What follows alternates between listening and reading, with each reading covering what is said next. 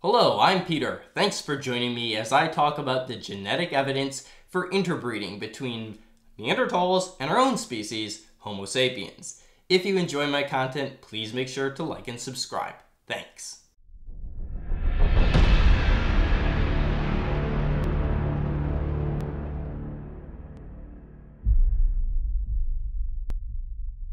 Homo neanderthalensis is the scientific name for an extinct group of humans who once lived throughout Europe and much of Asia, and often we'll just call them the Neanderthals.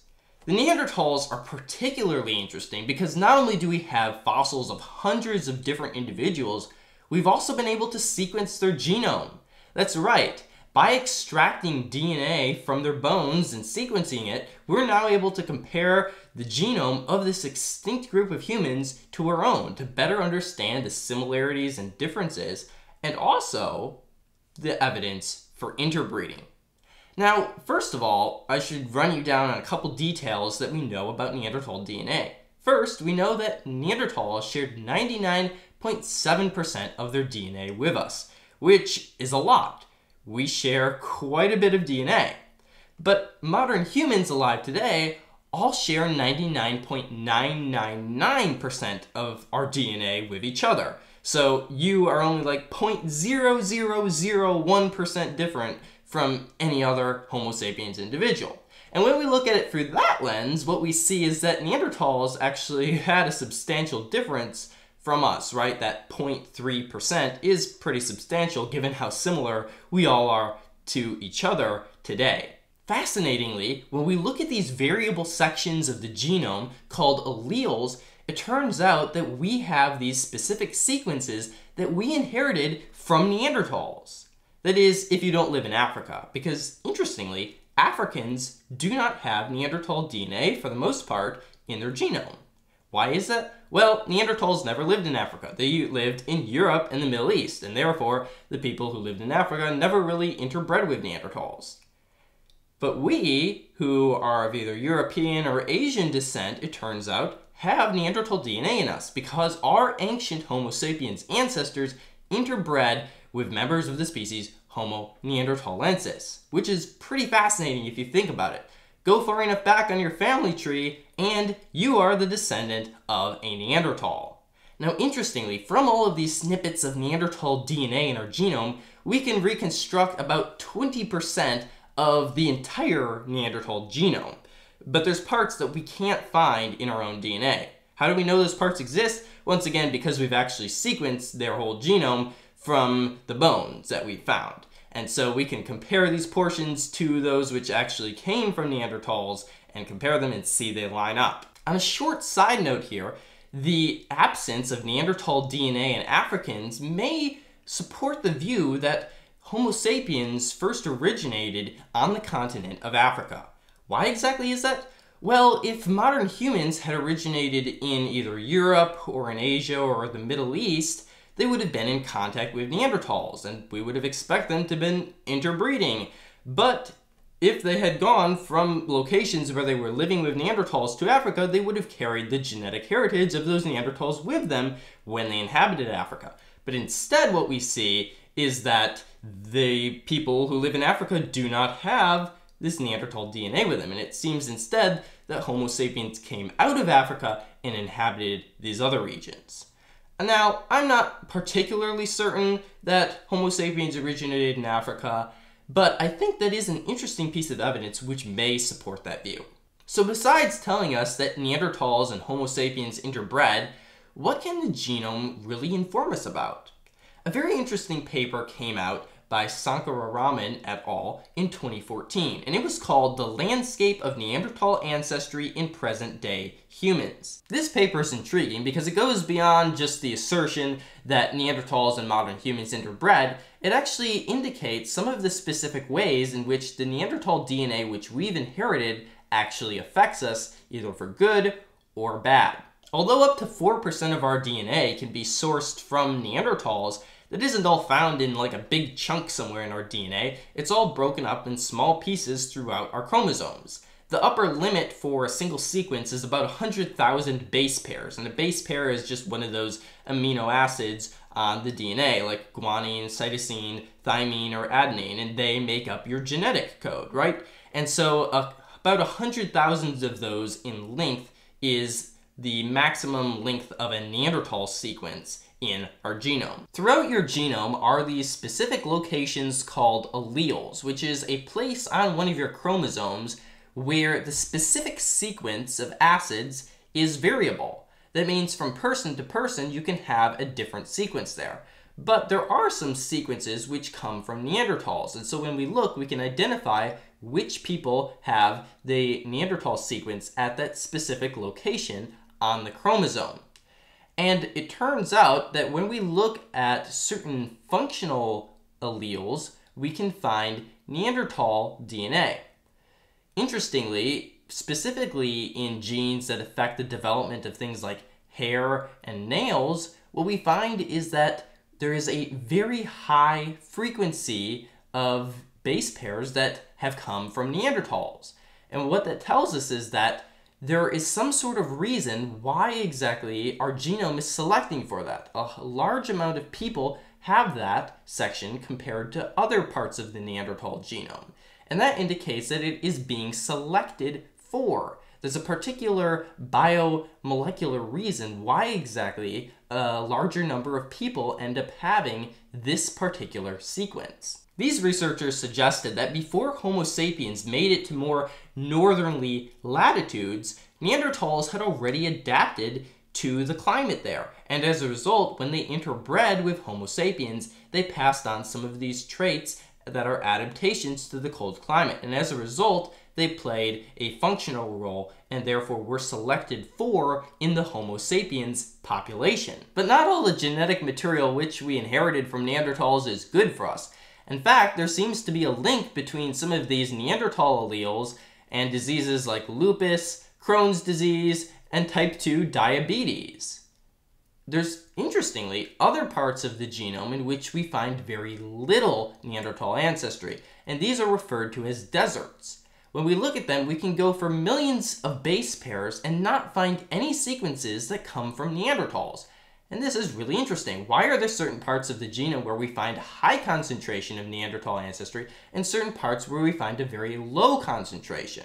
We can pretty easily explain areas of our genome which are high in Neanderthal ancestry. They're most likely just the result of certain alleles that we inherited from them that were beneficial to us. And those that didn't have them perhaps died out because they were so beneficial to our population. But what do we do with those areas where there are deserts, where we don't have any Neanderthal ancestry? There's two possibilities.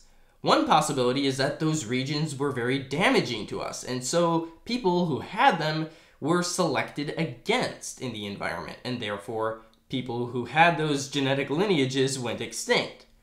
Or possibly another solution is that we never inherited those sequences from Neanderthals because of hybrid sterility. The study noted this.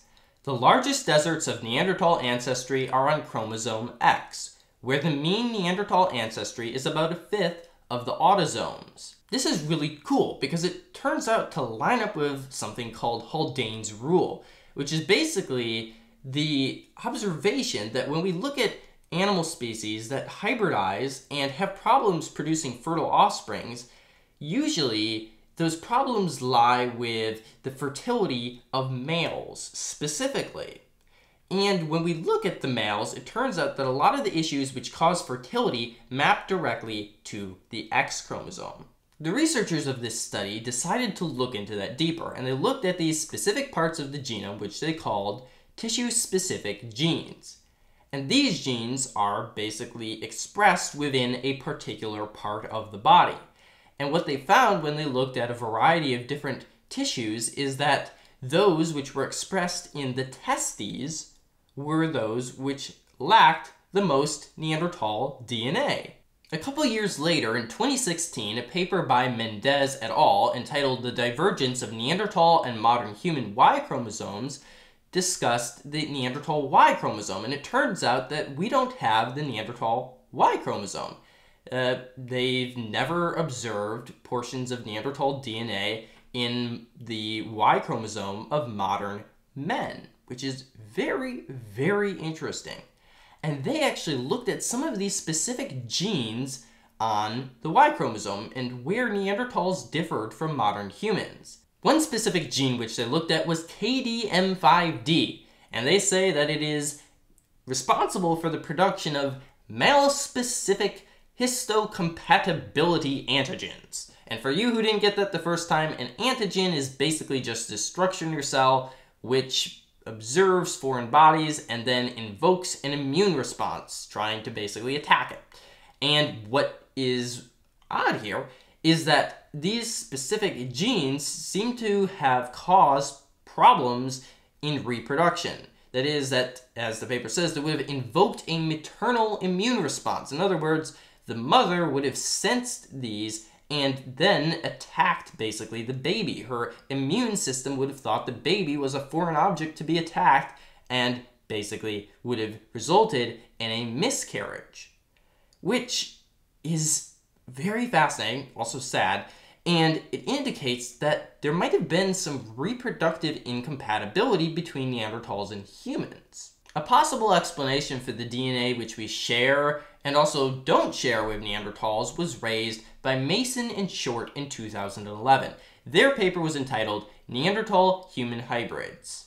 They noted that modern humans and Neanderthals also don't share the mitochondrial DNA. The mitochondrial DNA is separate from the rest of the DNA which you have, which is stored in the nucleus, in the center of your cell. The mitochondria is this little organelle in your cell, which basically produces energy in the form of adenosine triphosphate, which powers your cell. But inside of the mitochondria, there's a little loop of DNA. And it turns out that this DNA is inherited from the maternal lineage. So I have my mother's basically a copy of her mitochondrial DNA. But interestingly, we do not have the mitochondrial DNA of Neanderthals. Once again, this region where we have a desert. No Neanderthal ancestry. Mason and Short explain our observations in this way. The available data leads to the hypothesis that only male Neanderthals were able to mate with female humans. So this obviously can explain why exactly modern humans do not have Neanderthal DNA in our mitochondria. But what about our Y chromosome? They go on to say if Haldane's law applied to the progeny of Neanderthals and humans, then female hybrids would survive, but male hybrids would be absent, rare, or sterile. Interbreeding between male Neanderthals and female humans as the only possible scenario accounts for the presence of Neanderthal nuclear DNA, the scarcity of Neanderthal Y linked genes, and the lack of mitochondrial DNA in modern human populations. Another possibility is that even though Homo sapiens and Neanderthals interbred and produced fertile offspring who had mitochondrial DNA and the Neanderthal Y chromosome, that there was simply some sort of force which selected against the Neanderthal components, even though the individual hybrids themselves may have been fertile. Harris and Nielsen published a paper in 2016 entitled The Genetic Cost of Neanderthal Introgression, they once again attempted to model interactions between Homo sapiens and Neanderthals. And what I think is especially interesting about their particular results is that they came to the conclusion that there would have been strong selection against hybrids between humans, modern humans that is, and Neanderthals, and that this may have basically limited down the amount of Neanderthal DNA which was passed on to later generations. And why exactly would there have been this selection? Well, they suppose that because Neanderthals lived in smaller populations, they would have accumulated more mutations, had a higher mutation load, and thus would have been less fit than modern humans, and therefore they were selected against, and their highly mutated sequences were selected against in hybrids. Although this is an interesting hypothesis, I don't think it explains the data as well as some of the other hypotheses which we have. Why is that? Well, because it doesn't really explain why exactly we would have Neanderthal deserts in the first place, or why they followed such a specific pattern. That is, if Neanderthals have just a general, you know, mutational load, why is it that it's in these specific locations predicted by some of the other hypotheses? In fact, the authors noted this and had to deal with it by certain interactions, which they basically chalked it up to negative epistatic interactions but I think that this is probably a less likely scenario than some of the others which have been proposed. And that's where I think I'll wrap things up. We've looked at a lot of different data points and also different hypotheses which have been proposed to explain the data. So let me give you some of my thoughts. First of all, I think that these deserts of Neanderthal ancestry are probably very important for telling us something specific about this interaction between our two species. And I think they are probably best explained by some sort of reproductive incompatibility between you know, Homo sapiens and Neanderthals. And I think in addition, there was probably selection against Neanderthal DNA in parts of the genome as well, kind of a merging of these two hypotheses, probably a little bit of truth in both of them. So overall, what we then can come to understand is that Neanderthals and Homo sapiens may very well have been reproductively incompatible in certain patterns, and perhaps only male Neanderthals were able to breed and produce fertile offspring with female Homo sapiens. This is a fascinating topic, and I hope to continue researching in it because it has a number of important implications for me as a young Earth creationist, especially. Obviously, those who believe in an older have a very large time frame in which to fit human history and the selection against Neanderthal hybrids over long amounts of time. But I think that incompatibility between Neanderthals and Homo sapiens, together with strong selection against Neanderthal sequences, could possibly be an explanation for why exactly we only see a small amount of Neanderthal DNA in modern populations, even though it's been only a short time, uh, you know, from a creationist perspective, since our ancestors interbred with them. Thanks for listening. I hope you learned a little bit about the science of interbreeding between Neanderthals and Homo sapiens. If you enjoyed, please leave a like. Thanks for watching.